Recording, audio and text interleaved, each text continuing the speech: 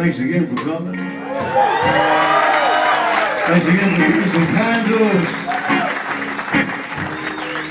It's been a pleasure to play the blues for you. I ain't lying.